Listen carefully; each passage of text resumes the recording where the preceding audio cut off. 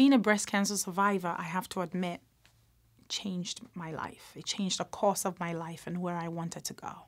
Because the fear of what could happen and the possibility of me not raising my children was one of the most difficult times of my life.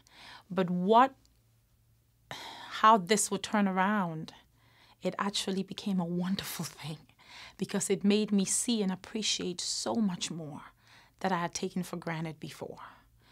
So, the importance of what I got, I felt breast cancer gave me extra wings. Breast cancer gave me extra strength. Breast cancer gave, gave me extra push to really, there's no limits now. I made it. You kidding me? I'm going to live it up and do all that I can do. I think that being strong and being knowing who you are is what helped me and going to God every night and saying thank you because I don't pray anymore. I stopped praying a long time ago. I feel He knows me. I'm His child. He knows my thoughts. He knows my needs. I just get up and I say thank you. I just give thanks for everything.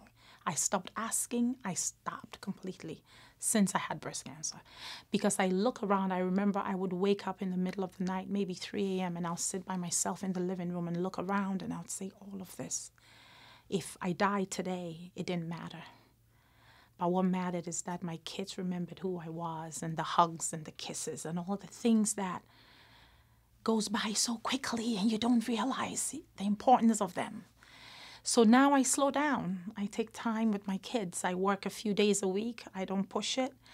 I spend more time with them. I spend more time with me. I spend more time with my husband, with my friends, with my family, and I remind them every day the importance of each day being a gift not not losing sight of it and taking better care of myself so that I'm here a long time.